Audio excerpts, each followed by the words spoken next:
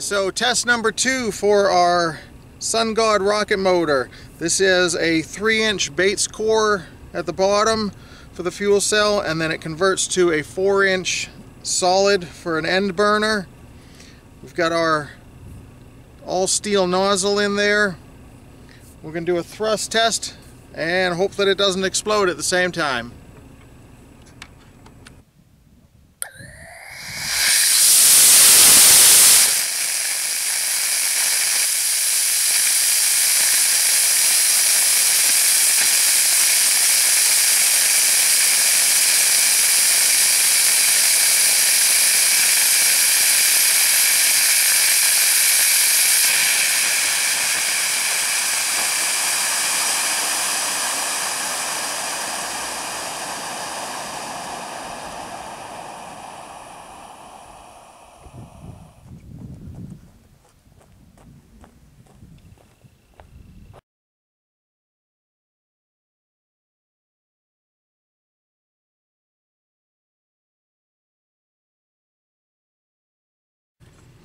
So that went really well, except for that.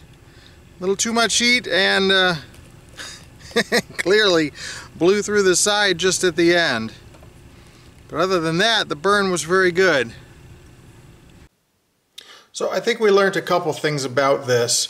Um, so in order to get this to not explode, we had to use a number 15 nozzle, uh, which is good for the Bates core section for about one and a half seconds, but when it converted to just being an end burner, that was uh, a very large nozzle for that amount of fuel that was burning. So we got a long burn time, but very, very little thrust.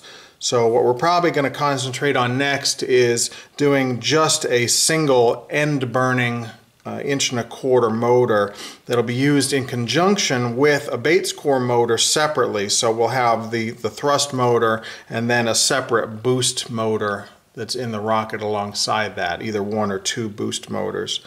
The other thing, obviously, um, this is our weakest section here.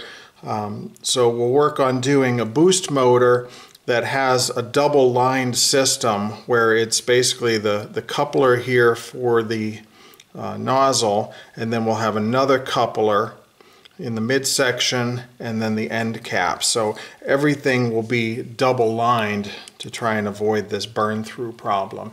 Other than that, um, overall, that was really a pretty successful test and gave us a lot of information. So that was really good.